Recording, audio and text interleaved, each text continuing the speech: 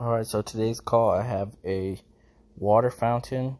Um, it's got a condenser with the compressor, and uh, the complaint is that the water's coming out hot. It's coming out 82 degrees, and uh, this is a very popular shipping company. We all know these guys are in the warehouse, and uh, there's no air conditioning, so the water's coming out hot, and they're miserable. Uh, so this is the call complaint, and I'm also going to replace this water filter. Uh, so we can start taking this thing apart. I've already come to diagnose it previously. There's about three or four screws on each side. So I'm just going to pop these off and get it situated. Alright, so the ambient temperature in the building, in the warehouse, is actually hotter than it is outside. Um, so for today we have a 75 degree ambient temperature according to Google. And it definitely feels warmer here. It's 82 degrees.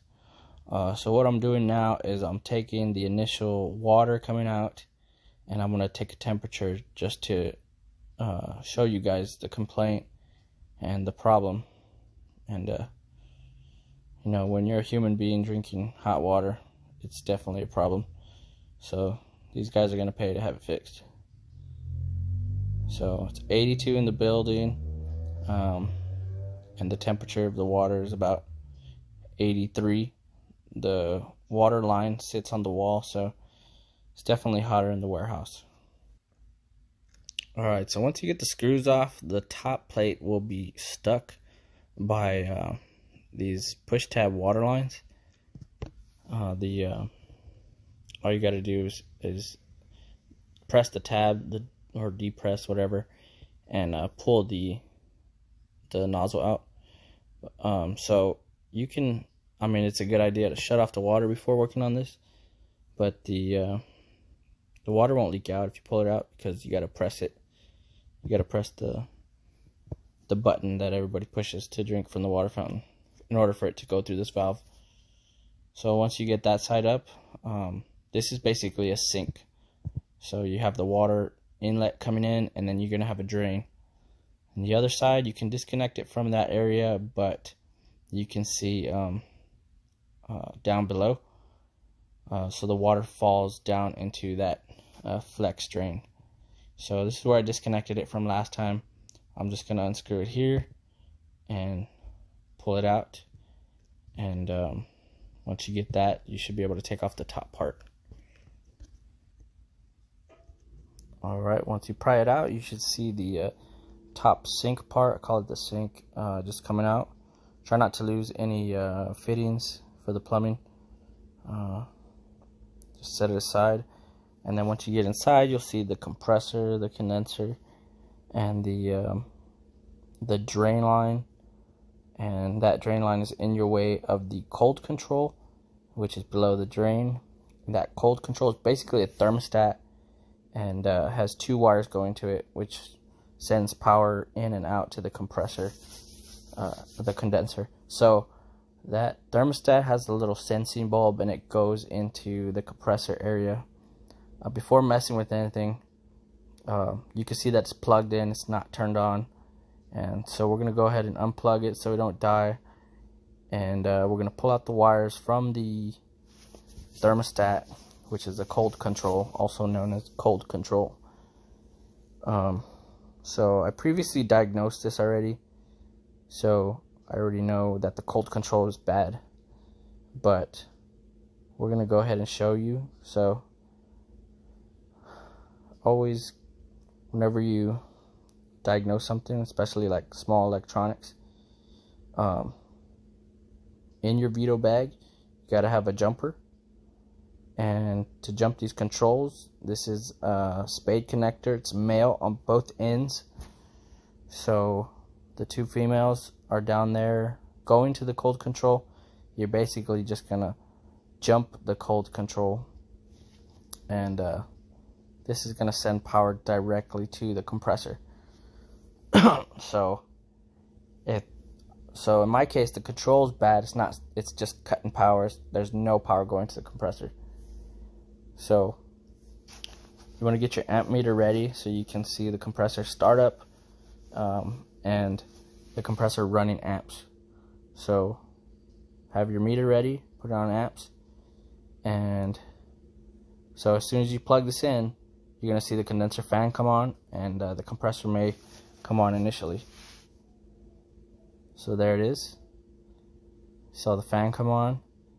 Now you can take your amp meter, get your wires out of the way, take your amp meter and you it's kind of difficult because of how low it is and how much slack the wire doesn't allow you to have but you got to take your amp meter and kind of grab it uh, grip it around the uh, the jumper or any of the the main power wires. So last time I was pulling about 4 amps uh, today it's about 3 amps which is good. Um, or I may be confused the, uh, the lock rotor amps maybe like 4.5 or something like that.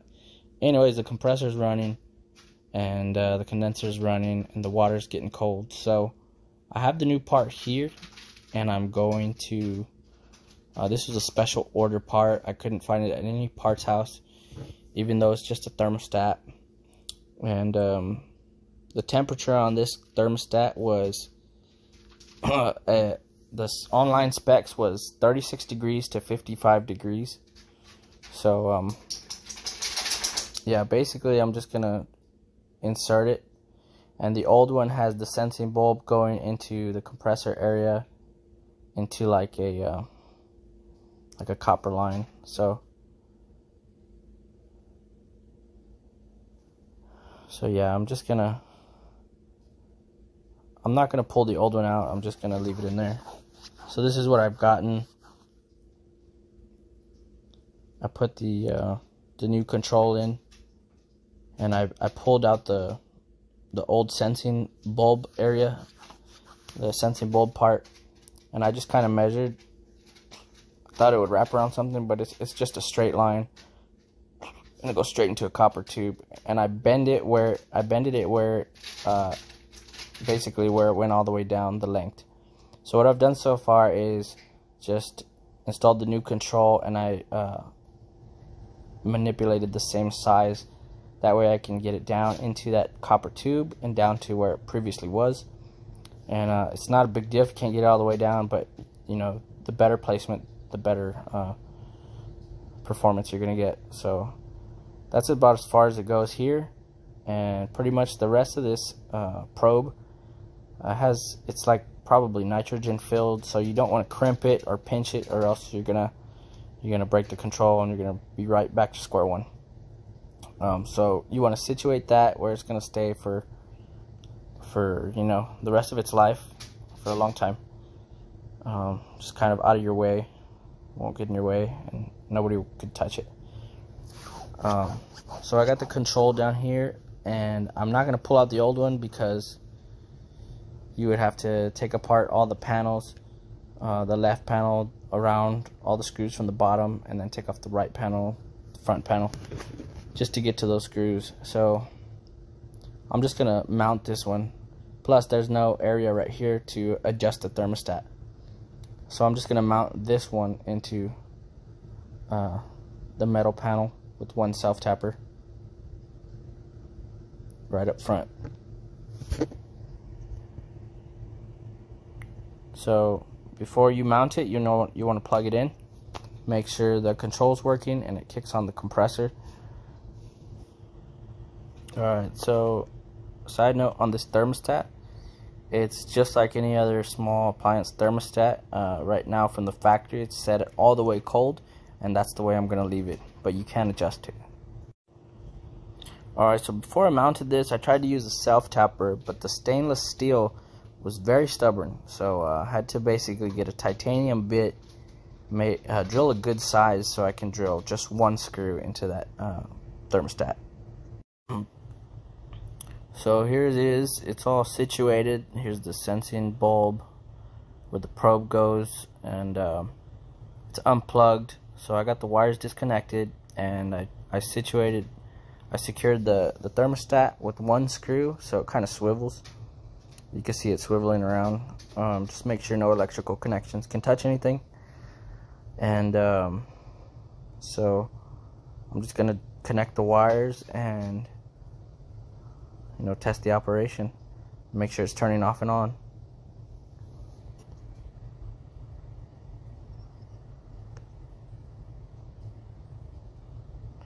There you go.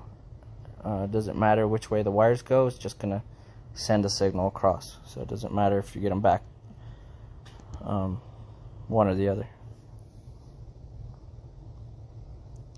So let's plug it in. Condenser came on controls working.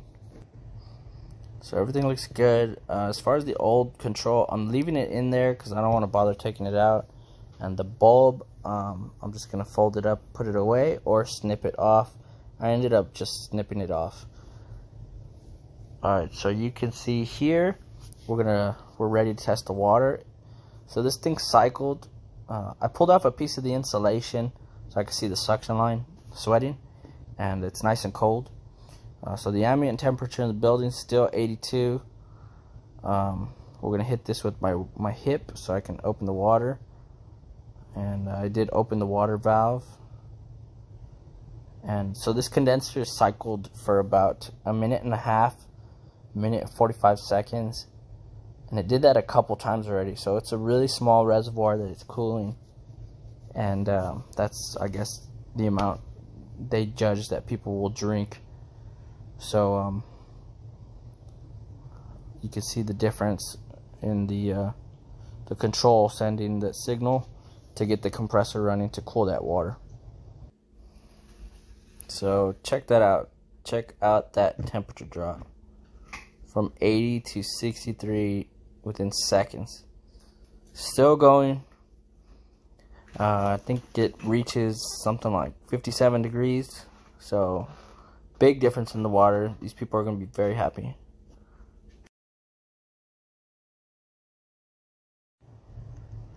So yeah, it's good to go. I'm calling this one done. Suction line sweating. Um, this machine is all good to go. So I'm gonna wrap it all up, change the water filter, and put everything back together and call it a day. Alright, so there's me replacing the water filter. It only had one carbon filter to replace. After you do that, you just want to check for leaks and uh, purge the lines from the filter so these people can drink it. And um, ensure that the water is not overshooting or undershooting and adjust properly if they have a water regulator but other than that the water's coming out 53 57 degrees and um, these people were very happy and this machine's good to go thanks for watching